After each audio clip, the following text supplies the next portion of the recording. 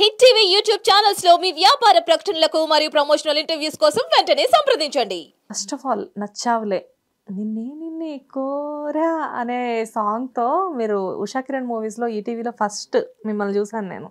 ఒక క్యూట్ అమ్మాయి ఒక క్యాప్ పెట్టుకొని ఒక కాఫీ షాప్లో వర్క్ చేస్తూ ఒక అబ్బాయి ఏదో అడిగితే ఓకే అని చెప్పేసి యాక్సెప్ట్ చేస్తూ అంటే ఒక ఏమీ తెలియని ఒక ఇన్నోసెంట్ అమ్మాయి ఒక క్యూట్ అమ్మాయి క్యారెక్టర్లో నేను మిమ్మల్ని చూశాను.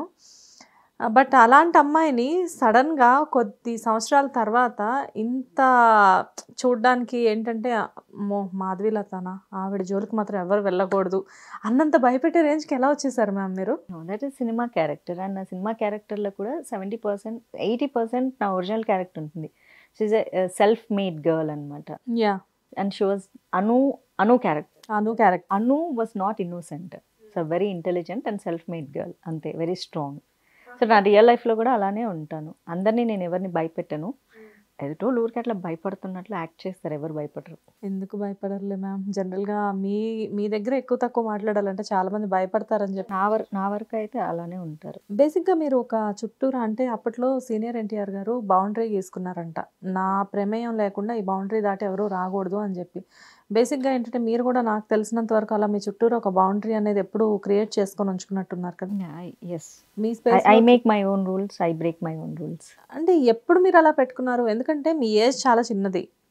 అంటే నేను స్కూల్ డేస్ నుంచి అలానే ఉండేదాన్ని. బికాజ్ మేబీ ఆమె ఇంట్రోవర్ట్ అంటే ఇంట్రోవర్ట్లో ఫోర్ టైప్స్ ఉంటారంట. అంటే ఎవరితో మాట్లాడకుండా ఉండేవాళ్ళు కొంతమంది. అసలు ఓన్లీ తెలిసిన వాళ్ళతో మాత్రమే మాట్లాడుకునే వాళ్ళు కొంతమంది. ఆ కంఫర్ట్ జోన్లో ఉండేవాళ్ళు కొంతమంది. సో నేను ఆ కంఫర్ట్ జోన్లోనే ఉంటా. కంఫర్ట్ జోన్ దాటి అసలు బయటికి రాను.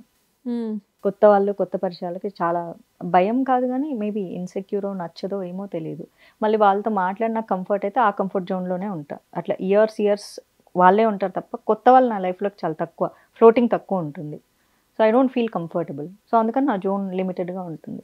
ఇన్సెక్యూర్ అంటున్నారు ఇంట్రోవర్ట్ అంటున్నారు. మరి ఇండస్ట్రీకి ఎలా వచ్చారు? అది నా ప్యాషన్ కదా. అంటే ఇంట్రోవ అంటే ఇంట్రోవర్ట్ నేచర్ ఉన్న వాళ్ళ జీవితంలో అంబిషన్స్ ఉండకూడదా? వాళ్ళ వాళ్ళ లైఫ్లో ఎదగాలనుకోకూడదా? అంబిషన్స్ హండ్రెడ్ పర్సెంట్ ఉండొచ్చు. కాకపోతే ఏంటంటే ఒక ఇంట్రోవర్ట్ అమ్మాయి ఇండస్ట్రీకి వచ్చింది అంటే ఇండస్ట్రీలో యాక్టివ్ యాక్టివ్గా ఉండాలి. చెప్పా కదా టైప్స్ ఆఫ్ ఇంట్రోవర్డ్స్ సో నా నా జోన్లో నేను ఉంటా. అందుకే నేను నేను అనుకున్న స్థాయికి నేను వెళ్ళలేదు.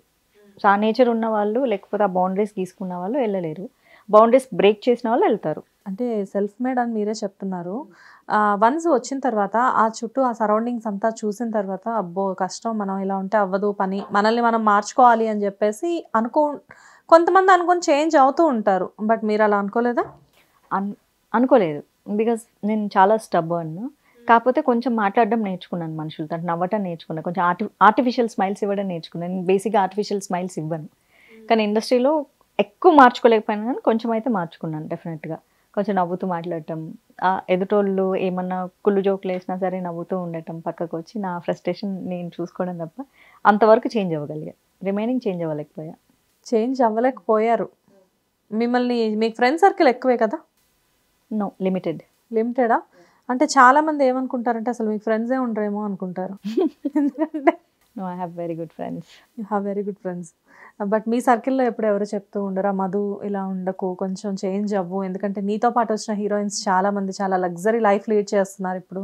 నువ్వు మాత్రం ఎందుకు ఇలా? ఎందుకంటే ఏం లేదు గ్లామర్ లేదా యాక్టింగ్ లేదా అంటే కొంతమంది ఆర్టిఫిషియల్గా కొన్ని తెచ్చిపెట్టుకోవాలి. మీకు అవసరాలు ఏమీ లేకుండా అన్ని బిగినింగ్ నుంచే ఉన్నాయి. అలాంటప్పుడు మీలాంటి వాళ్ళని ఇండస్ట్రీ కూడా వదిలిపెట్టుకోవాలి అనుకోదు సో మీ ఫ్రెండ్స్ ఎవరైనా చేంజ్ చేసే ప్రయత్నం చేశారా? డెఫినెట్లీ నాకు సజెషన్ ఇవ్వని ఫ్రెండ్ ఈ రోజు వరకు ఎవ్వరూ లేరు. అందరూ చెప్తారు. ఏ ఏం చేస్తావు? ఎందుకు? అని. ఇప్పటికీ ఇస్తారు. సేమ్ సలహాలు అప్పటి నుంచి ఇప్పటికీ ఇస్తారు. ఎందుకంటే నా ఫ్రెండ్స్ చేంజ్ అయిన వాళ్ళు కొత్తగా ఏం లేరు. డికేట్ బ్యాక్ నుంచి ఉన్న ఫ్రెండ్సే ఇప్పుడే ఉన్నారు కాబట్టి సలహా అదే. ఎలాగో నేను వినను but still they give and first first అసలు నచ్చావులే మూవీ. మీరు యాక్సెప్ట్ చేసింది ఉషా కిరణ్ మూవీస్ అనా లేకపోతే రవిబాబు గారి ప్రాజెక్ట్ అనా? నాకు కాల్ రావడమే ఉషా కిరణ్ మూవీస్ అని వచ్చింది. ఓకే. సో అంతే.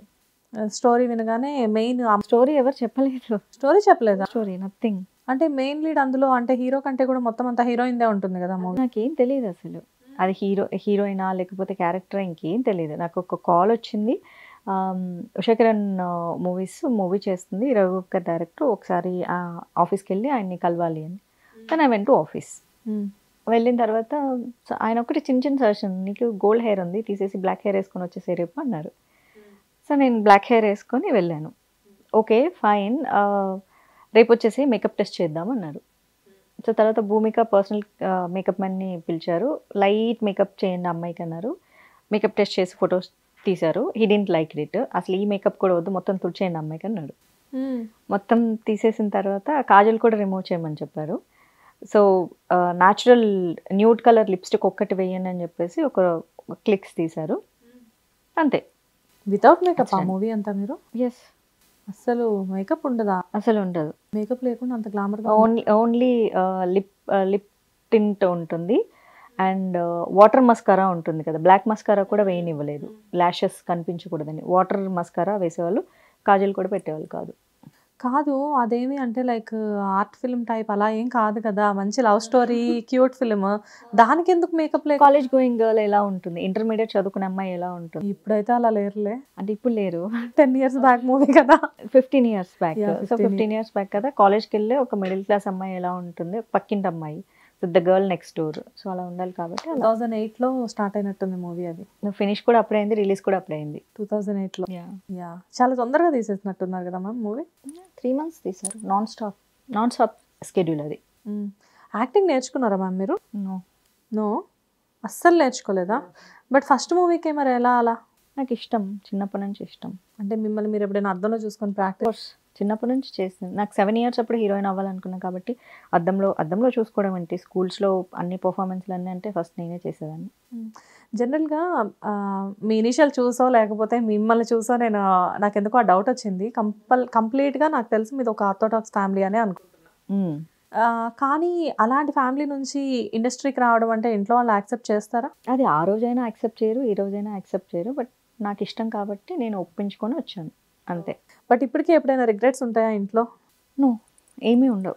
వెళ్ళావు కంటిన్యూ అవ్వట్లేదు నువ్వు అలా కంటిన్యూ అవ్వట్లేదు అనే డిస్కషన్స్ అయితే నడుస్తుంటాయి. టూ డేస్ బ్యాక్ కూడా నడిచింది అనుకో.